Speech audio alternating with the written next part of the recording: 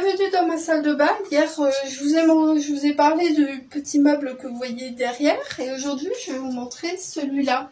Alors, euh, je l'ai fait euh, bah, il y a quelques années et pourtant, on est dans ma salle de bain. Donc, la salle de bain, quand je prends mon bain pendant deux heures, il y a un petit peu d'humidité et pourtant, malgré tout ce qu'on m'a dit quand on avait parlé sur YouTube à l'époque, eh bien, il tient toujours debout. Alors, je vais vous raconter un petit peu comment j'avais conçu ce meuble. Euh, déjà, le miroir, en fait, c'était un miroir de récup. Il était déjà là, je l'ai nettoyé, j'ai un, petit peu poncé les bords et j'ai réutilisé pour euh, fabriquer mon meuble. Là, le truc, en fait, c'est que moi, je trouve ça trop classe quand on, quand on regarde chez le coiffeur. Bah, en fait, ils ont toujours un rangement. Et bah, moi, je me le suis fait. Hop, comme ça, je risque pas de me prendre le, le sèche-cheveux sur le coin du pied. Après, bah voilà, j'ai brodé autour. Hein. Le but, c'était euh, de mettre ma, mon miroir, de ranger plein de, petits produits.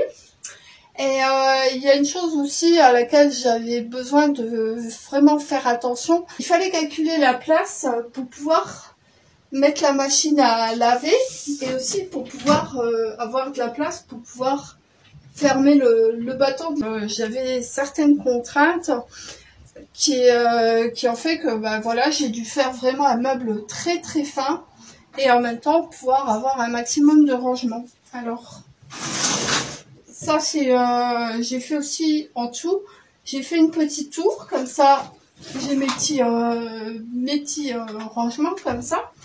Et du coup, hop, euh, j'ai euh, vraiment tout à bloc. Et comme ça, moi, ça me permet euh, de ranger tous mes produits cosmétiques.